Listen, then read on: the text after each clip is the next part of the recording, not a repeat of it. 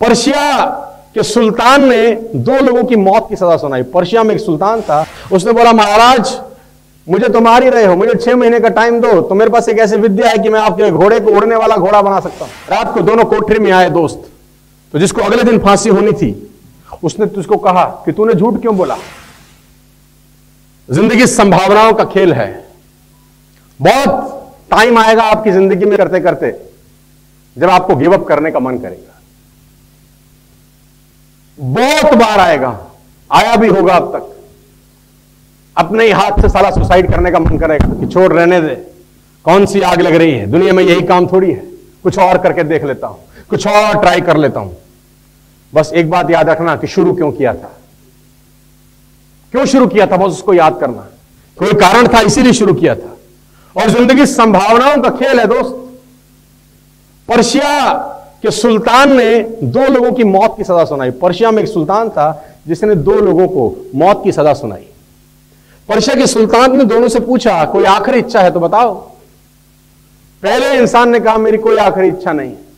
अगले दिन उसको फांसी पर लटकाना जाना था। दूसरे से पूछा, तुम्हारी कोई आखिरी इच्छा है? वो जानता था कि पर्शिया के सुल्तान के पास एक घोड़ा है और सुल्तान अपने घोड़े से बहुत मोहब्बत करता है। उसने बोला, महाराज मुझे तो मार ही रहे हो, मुझे छह महीने का टाइम दो। तो मेरे पास एक ऐसी विद्या है कि मैं आपके घोड़े को उड़ने वाला घोड़ा बना सकता हूँ। मेरे पास एक ऐसी विद्या है कि मैं आपके घोड़े को उड़ने वाला घोड़ा बना सकता हूँ। उसको पता था सुल्तान अपने घोड़े से बहुत मोहब्बत करता है। सुल्तान ने बोला, वाकई तो ऐसा कर सकता है? उसने बोला यकीन मैं तो मर ही रहा हूँ। क्यों ना ये विद्या मेरे से ले लो? सम्राट को लगा, अगर ऐसा हो गया तो मैं दुनिया का एकमात्र ऐसा सुल्तान होऊँगा, जिसके पास उड़ने वाला घोड़ा होगा। सुल्तान ने कहा डन। अगर ये बात झूठ निकली तो, तो उसने बोला गोली मार देना।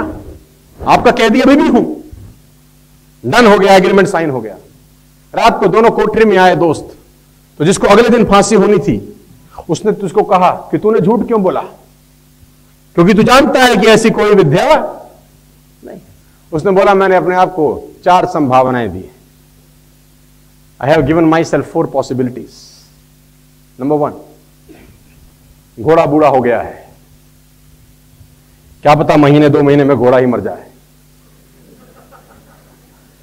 ये एक संभावना है। पॉसिबिलिटी नंबर टू राजा कौन सा जवान है? पॉसिबिलिटी नंबर तीन, मैं भी क्या पता नेचुरल डेथ मर जाऊँ। तेरी तरह फांसी पे तो नहीं लटकूँगा कल। और पॉसिबिलिटी नंबर चार क्या पता घोड़े को उड़ा ही दो। मैंने अपने आप को चार संभावनाएँ दी I have given my sir four possibility मृत्यु की आखिरी बेला के अंदर भी वो अपना दिमाग लगाना नहीं छोड़ता।